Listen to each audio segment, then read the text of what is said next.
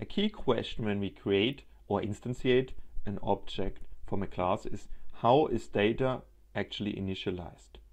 In our case, we have our cake, but we want to ensure when we create a cake that it has a plate, for example, and eight slices by default. How would we done this in C? Well, we would have created a function like cake underscore init that would have set for a structure these member variables explicitly to true for plate and 8 for slices.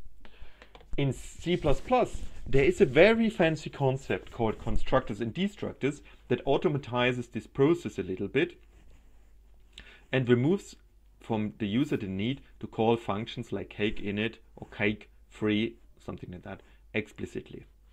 In fact, constructors are called when an object is created automatically. Destructors are called when an object is deleted from the stack or the heap and again it's done automatically. So how do, how do these constructors and destructors look like? So the constructor is a special member function. Aha. Uh -huh. That means we, we can think about it like a normal function, but it just has to have a special name. And it has to have the same name as the class. So in our case, we could have a function called cake with brackets. It has no return value, which is actually mandatory.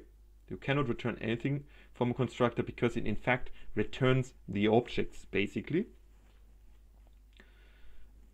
And uh, you can have many constructors with different arguments to create different type of objects, vary the content of the objects with useful presets, so psi or defaults. The destructor now is the opposite of the constructor. It's a function that cleans up the data members so typically you free memory on the heap, but you can involve other behavior like closing files, printing out messages and so forth. It has no arguments and no return types and there exists only one destructor. And it has the name, like here, tilde cake in this case. So again the same name as the class but preceded, preceded by a tilde and you will find only one destructor. Yeah, because it doesn't make sense to have different ways of removing an object. So how do we define a cake constructor and destructor with a class? Well, we will add it first of all to our UML diagram and it needs to have a public interface typically. So we see here cake and our tilde cake, which is the destructor. We have to put it in our HPP file. It, neither of them returns anything so in this case, we, we just put them identically to our header file. And now we have to implement them. So here we have our constructor. And we remember the constructor is called every time a new instance of a class is made. And we, in our case, we declared a constructor that doesn't take any argument. But what we wanted to do is we wanted to set the B plate to be true and the number of slices to be 8. Now we can do that as easy as this. And in the destructor, what we want to do, well, we want to set remove the plate and the number of slices set them to zero. Well, this is a very artificial destructor here. Normally you would remove any memory allocation to prevent memory leakage and do some more fancy stuff, but this is really just an example for a destructor. So let's talk about a program that now uses our cake class. Of course, it has to include the header. And this now can be a file called main CPP where we find this content over here. What we do, we create a cake, cake, cake one. So we this is actually a definition, right? So and we declare cake one to be of type cake, which the compiler knows is a class. And we also define it, reserve memory and when we do that here, we know we reserve memory on the stack.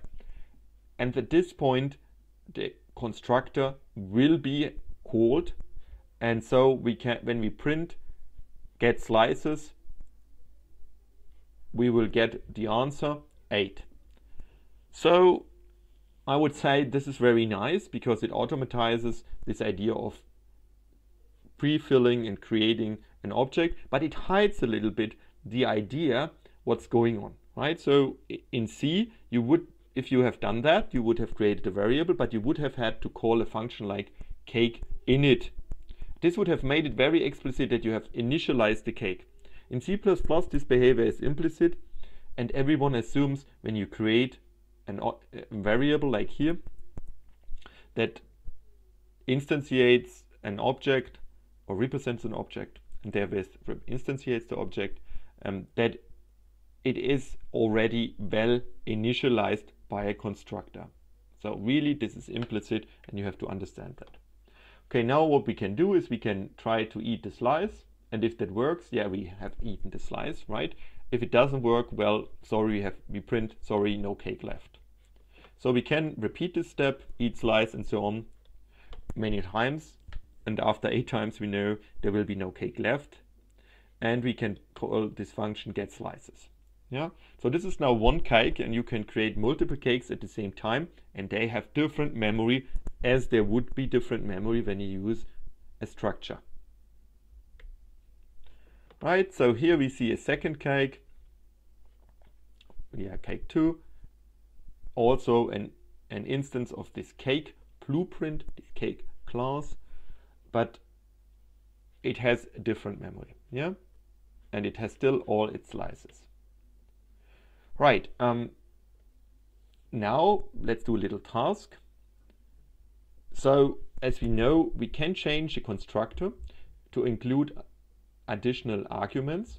And I want you to change the cake constructor now to allow setting the, the number of slices.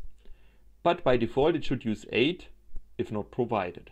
So that means we have to use this idea of optional arguments from C++ and we have to manipulate this a little bit. Think about it for three minutes and then unpause the video. Pause the video now and uh, I will reveal the answer in a second. Three, two, one. So the solution is that we have to change the cake constructor to allow setting the number of slices. So by default, first of all, you would say something like slices equals 8, and then you say i slices become slices.